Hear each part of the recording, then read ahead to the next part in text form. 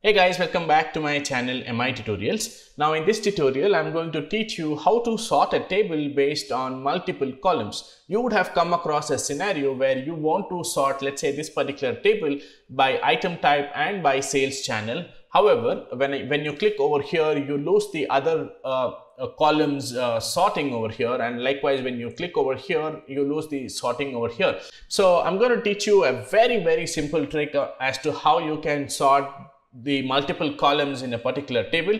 So what you can do is, let's say first I want to sort by the item type over here.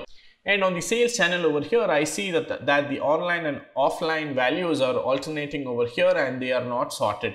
So what I can simply do is click and hold the shift button and press on this particular sorting option over here. So now you can see that this has been sorted by item type as well as by sales channel indicated by this particular icon over here that this is sorted. And then if you see that all of the onlines are offlines are appearing first and then the online. Now I can simply press and hold the shift button and click on the sales channel again to sort it the otherwise basically the descending order and see that online have been appearing first and then the offline. Now you can also sort, do the same sorting here on the total sales and see that the baby food has been sorted by online and the highest value in that particular online segment has been sorted from top to down as well. So this is how you can simply sort the values in the uh, table on multiple columns. I hope this trick has helped you. You've learned something new today.